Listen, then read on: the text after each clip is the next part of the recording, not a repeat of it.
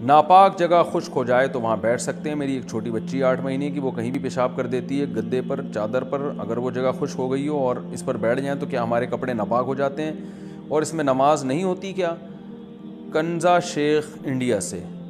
खुश जगह पर अगर आप बैठ जाएँ तो आपके कपड़े नापाक नहीं होते। हाँ आपके कपड़े पहले से गीले हैं और फिर ऐसी जगह पे बैठेंगे तो कपड़े नापाक हो जाएँगे। लेकिन अगर खुश कपड़े हैं तो आप वहाँ बैठने से आपके कपड़े नापाक नहीं होते। वैसे बच्ची, ये क्या बात है? जहाँ जहाँ पेशाब कर रही है तो करने थोड़ी दिए ना उसको हर जगह धोनी है ये तो घर फिर भंगी खाना बन जाएगा थोड़े दिनों में बच्ची कभी वहाँ कर रही है कभी वहाँ कर रही है तो जहाँ भी करें फ़ौरन सफ़ाई करवाएँ उसकी खुद पाक करें उस जगह को तो बच्चों को पालने में तो ये टेंशन लेनी पड़ती है तो उसको छोड़ देना तो ये तो बहुत गलत चीज़ है